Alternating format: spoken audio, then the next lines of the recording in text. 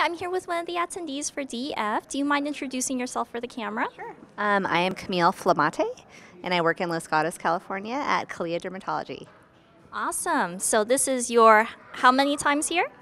This is my fourth attendance. Yeah. Wow, that's great. Uh, Four times is wonderful. Um, how, what keeps you coming back to the conference?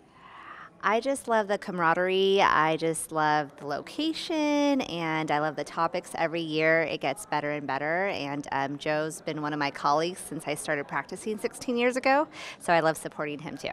Yeah. Awesome, great. So, what's your favorite thing about this conference, and what are you most looking forward to this week? I definitely um, appreciate basically just the refresh on all the topics, you know, from the most common ones to I just went to the psoriasis, basically kind of boot camp, and I don't have a huge psoriasis population, so it's really good to basically get a refresher on that. And I'm looking forward to learning more um, about dermoscopy because I, that's been really helpful in my practice. I'm seeing more melanoma, more non melanoma, so definitely want to um, enhance my skill on that.